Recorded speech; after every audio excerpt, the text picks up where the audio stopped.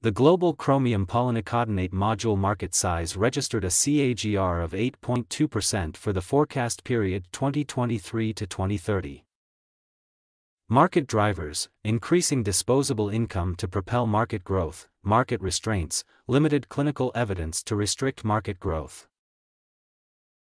Get to know about the competitor analysis, regional analysis, country analysis, segment analysis, market trends, technological trends, SWOT analysis, and more by requesting Sample Page's latest published market research copy.